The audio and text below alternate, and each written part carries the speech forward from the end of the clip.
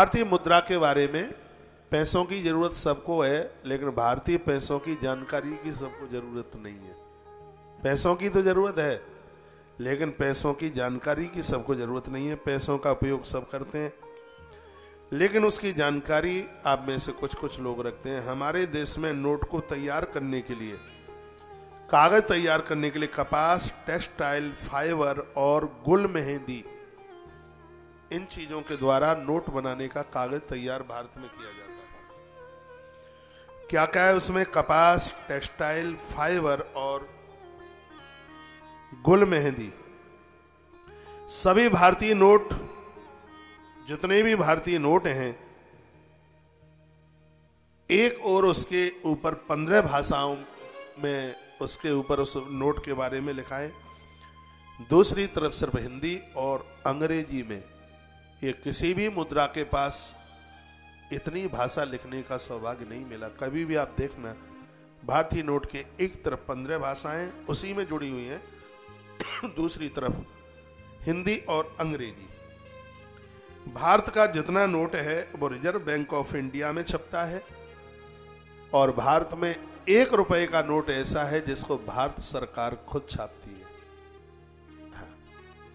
एक रुपए से लेकर के ऊपर के नोट हैं, वो भारतीय रिज़र्व बैंक। वो छापती है। रिज़र्व बैंक ऑफ़ इंडिया, उसमें छपता है नोट, लेकिन एक की नोट ऐसी है, जिसमें ना तो गवर्नर के हस्ताक्षर होते हैं, उसको छापने वाली भारत सरकार है।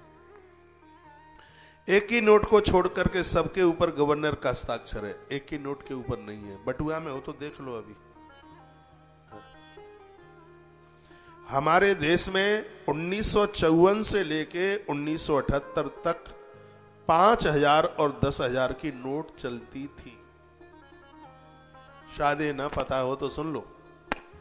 हमारे भारत में उन्नीस सौ चौवन से लेकर के 1978 तक पाँच हज़ार और दस हज़ार की नोट चलती थी। बाद में ये नोट बंद हो गए। भारत मुद्रा प्रचलन में 600 वर्ष पहले इसकी शुरुआत। ये भारत का जो कागज़ का नोट है, ये 600 साल से पहले नहीं था। 600 वर्ष पहले इस नोट की शुरुआत शेर शाह सूरी राजा के द्वारा इसको शुरू किया गया। भारतीय मुद्रा की शुरुआत 600 साल पहले शेर शाह सूरी के द्वारा इस मुद्रा को तैयार किया गया। 8 नवंबर 2016 में भारत में से 500 और 1000 के नोट रात को 12 बजे बंद कर दिए गए थे। 8 नवंबर 2016 हज़ार के नोट और 500 के नोट बंद कर दिए गए। अब उनकी जगह पर भारत में सबसे बड़ी नोट दो हज़ार रुपए की और 500 की ही प्राप्त होती है। ये प्रचलन में नोट चलते हैं।